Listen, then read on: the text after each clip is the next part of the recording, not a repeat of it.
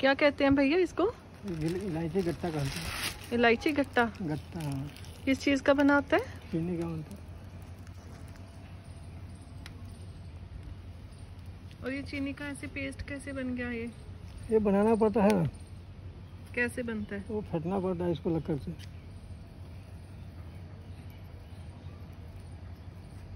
अच्छा लकड़ से फेंट फेंट के बनाते हो।